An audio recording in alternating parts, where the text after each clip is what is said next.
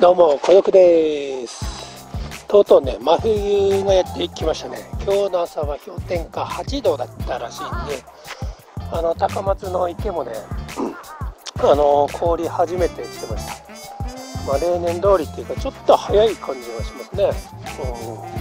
うん、まあ、僕はね、あの、この、今日は300ミリの、あの、オールドレンズでね、鳥を撮ってみようかなと思ってましたよ。あの常にこれ使ってるとどんどんどんどんね写真の腕がね上がっていくんですよ。オールドレンズこの望遠に限らずね。短い距離のやつも使ってると腕が磨かれであの先週もあれだな。あのホームページの作成頼まれた建設関係の会社さんのオールドレンズでねバシバシ撮ってましたけどドンピンですよ全て。もうかなりあの腕はね磨かれてきました。あのどんどんどんどんこの冬腕を磨いていこうと思ってあの今年の冬はねこの300ミリ、えー、積極的に使ってあの鳥とかね取っていきたいなと思っております。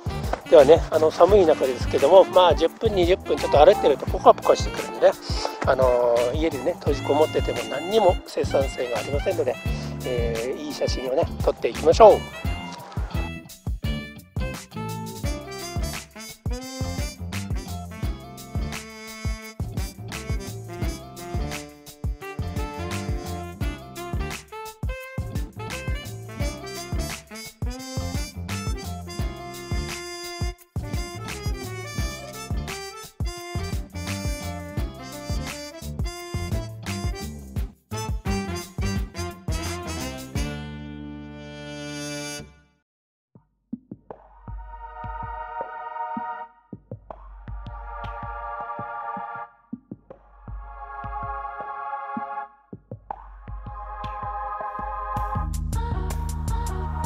鳥がいません。なぜだか分かりませんが全然いません。鳥の代わりにおじさんの背中狙います。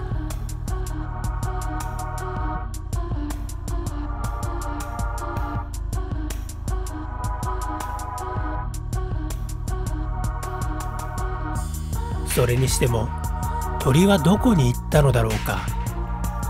少しでも暖かい場所を目指して移動してしまったのか？まあしょうがないので池の方に戻りましょう。